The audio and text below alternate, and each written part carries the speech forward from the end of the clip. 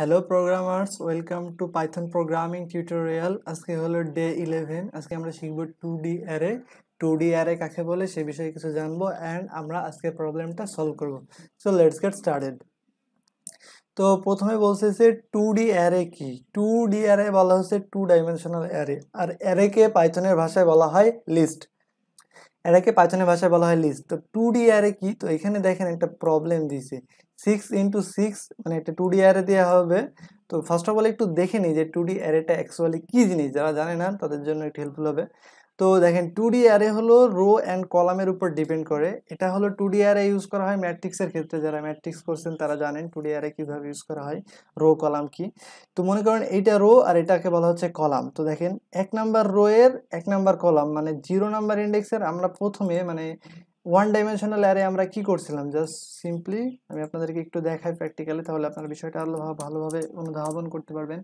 নাম equal to আমরা এটা দিছিলাম। এটাকে বলা হচ্ছে যে ওয়ান ডাইমেনশনাল অ্যারে যদি আমরা টু ডাইমেনশনাল অ্যারে ইউজ করতে চাই, তাহলে আমরা দুই দিয়ে দেবো। এখন কথা হলো যে, এখন যদি আমরা ওয়ান নাম্বার ইন্ডেক্স মানে এই ইন্ডেক্সের ভ্যালুটাকে অ্যাক্সেস করতে চাই, তাহলে কি দেবো? তাহলে আমরা দিব অবশ্যই জিরো নাম্বার কলামের জিরো নাম্বার রোয়ের জিরো নাম্বার কলাম। আমরা যদি সেকেন্ড সেকেন্ড যে ইন্ডেক্সটা আছে, ওইটা যদি আমরা অ্যাক্সেস করতে চাই, তাহলে আমরা কি দেবো? সেটা আমরা দেবো জিরো নাম্বার রোয়ের কত নাম্বার কলাম? জিরো নাম্বার রোয়ের এক নাম্বার কলাম। ওকে, ঠিক এইভাবে প্রত্যেকটা ঘরের যে মান, সেটাকে এইভাবে অ্যাক্সেস করা হয়।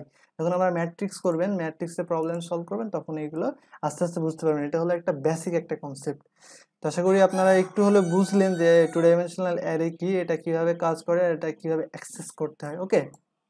এখন আমরা একটু প্রবলেমে যাই এবং প্রবলেমটা নিয়ে ডিসকাস করি। তো প্রবলেমে বলতেছে একটা six into six two dimensional array দেওয়া হবে, একটা ম্যাট্রিক্স দেওয়া হবে। তো এই যে এরকম আর কি তো এখন তোমাকে বের করতে হবে আর একটা নতুন জিনিস আছে আওয়ার গ্লাস আওয়ার গ্লাস আপনারা জানেন কি জানে না? আমি গুগলে সার্চ দিলে বুঝতে পারবেন। আওয়ার গ্লাস হলো এই যে এইটা এটা অনেকে দেখছেন বাট নাম জানেন না হয়তো বা তো বলতেছে যে এই আওয়ার গ্লাসের যে মানে ম্যাক্স সামেশনটা আমাদেরকে দিতে হবে। তার মানে একটু দেখি। এই যে দেখো A B C D E F G মানে এই প্রথমকার তিনটা, মাঝখানের এক আর এই তিনটা। এই তিনটা মিলে হয় একটা আওয়ার গ্লাস এরকম আওয়ার গ্লাস যতগুলো হয় হবে, ততগুলোর ভিতরে দেখতে হবে কোন আওয়ার গ্লাসের ম্যাক্স নাম্বারটা সব থেকে বেশি।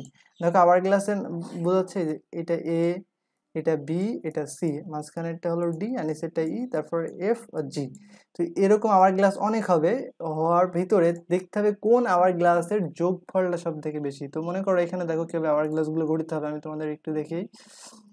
মনে করো এক, দুই, তিন, তারপরে নিচের এই একটা নিয়ে আর এখানে তিনটা নিয়ে, একটা আওয়ার গ্লাস তারপরে এখানে হবে একটা আওয়ার গ্লাস এই পরের তিনটা নিয়ে দুইটা, তারপরে তিনটা, তারপরে চারটা। তাহলে আমরা দুইটা লুপ ইউজ করব, দুইটা নেস্টেড লুপ ইউজ করব, চার বাই চার দেন আমরা এই আওয়ার গ্লাসগুলো বের করব দেন ওগুলো যোগ করে একটা ম্যাক্সের সাথে কম্পেয়ার করব। তো আমি যদি একটু কোড করি, তাহলে আপনি বিষয়টা আরেকটু ক্লিয়ার হবেন। বুঝতে তো আপনাকে হবেই, যেভাবে হোক, আমি তো আসি তাই না? তো দেখেন, এখন কি করব আমরা? আমরা একটা ভ্যারিয়েবল ভ্যারিয়েবল না জাস্ট আমরা লুপ ক্রিয়েট করি। নেস্টেড ফর লুপ তো জানেন, যে লুপের ভিতরে লুপ ইউজ করলে তাকে নেস্টেড লুপ বলা হয়। এগুলো এক্সামে অনেক আসে। তো আমি ফোর দিই। ফোর কেন দিলাম? আপনি একটু আগে আপনাকে দেখালাম। মানে এটা ফোর বার কি গণনা করতে হবে? কারণ একটা ছয় সিক্স ইন্টু সিক্স যদি দেয়, তাহলে দেখেন, এখানে একটা আওয়ার গ্লাস হবে এক, তারপরে এখানে একটা আওয়ার গ্লাস হবে মানে তিনটা তিনটা করে নিয়ে এভাবে নিয়ে এলে আমাদের টোটালে চারটা আওয়ার গ্লাস লাগতেছে ওকে তো আমরা চারটা নেব। যেহেতু আমরা টু ডাইমেনশনাল অ্যারে তাই আমাদের দুইটা মানে নেস্টেড ফরলপ ইউজ করতে হবে। রেঞ্জ এখানে আমরা ফোর দিব। ওকে তো এখন আমাদের কাজ হলো একদম কোডটা কিন্তু অনেক সিম্পল একটা বিগিনারদের জন্য খুবই সিম্পল বাট অনেকের কাছে একটু ক্রিটিক্যাল মনে হতে পারে। তো দেখেন এবারটা আমাদের সব সাম করতে হবে। সাম করব কীভাবে? দেখেন একটু আগে যেটা বললাম যে এইটা হলো জিরো নাম্বার মানে রোয়ের জিরো নাম্বার কলাম মানে এই যে এটা যদি একটু দেখেন তাহলে বুঝবেন যে এটা কীভাবে হইতেছে। এই যে প্রথম যে ঘরটা, ওটা হলো জিরো নাম্বার রোয়ের জিরো নাম্বার কলাম তারপরে যে ঘরটা, ওটা জিরো নাম্বার রোয়ের মানে এগুলো যা হবে সব জিরো এইদিকে শুধু বাড়তে থাকলে কলাম বাড়তে থাকবে, কলাম বাড়তে থাকবে। ওকে তো আমরা এখন এখন কি করব? এই নাম্বারগুলো সব যোগ করব। তাহলে দেখেন এ লক্ষ্য করো একটু এ এ তাহলে এর ভ্যালু কোনটা? এই এক number zero number index zero number তাহলে আমরা বলব A equals to array array ওরা দিয়ে দিয়েছে, ঠিক আছে? অ্যারে আই আই হলো আমাদের রো এর ভ্যালু আই এবং কত নাম্বার কলাম? এটাও আই আর আই এর ভ্যালু কত থেকে শুরু? আমরা জানি জিরো থেকে। তার মানে জিরো নাম্বার কলামে জিরো নাম্বার রোয়ের যে ভ্যালু এটা হলো এ ওকে আন্ডারস্ট্যান্ড এবারটা আমরা বিতে যাই বিতে যেয়ে দেখি, বিতে বলতেছে যে এক নাম্বারই, এক নাম্বারের রো থাকবে বাট কলাম হবে দুই। তাহলে আমরা ঠিক একইভাবে এরে আইটা আই রেখে দেবো, কারণ এটা জিরো থেকে শুরু হবে। আমরা জে এর ভ্যালুটা ইনক্রিজ করে দেবো I plus one okay understand তারপরে সি সিও সেম একদম একইভাবে অ্যারে গুড ইন্টেলিজেন্ট তোমরা অনেক তাড়াতাড়ি বুঝে গেছো। আই ওটা এক নম্বর কলামেরই হবে। দেন আমরা জাস্ট জে জে এর ভ্যালুটা বাড়াই দেবো মানে কলামের ভ্যালুটা বাড়াই দেবো দুই। তার মানে দেখো সি হলো যে, এই যে, এই ভ্যালুটা হলো সি মানে এক নাম্বার কলাম, তিন নাম্বার রো। তিন নাম্বার মানে দুই নাম্বার, যেহেতু জিরোই থেকে শুরু হয়, তাহলে সি বাড়াই গেলে এখন ডি বের করব। ডি আমরা কীভাবে বের করব? অ্যারে। দেখো, ডি আছে যে আমাদের এই মাঝখানেরটা, তাই না?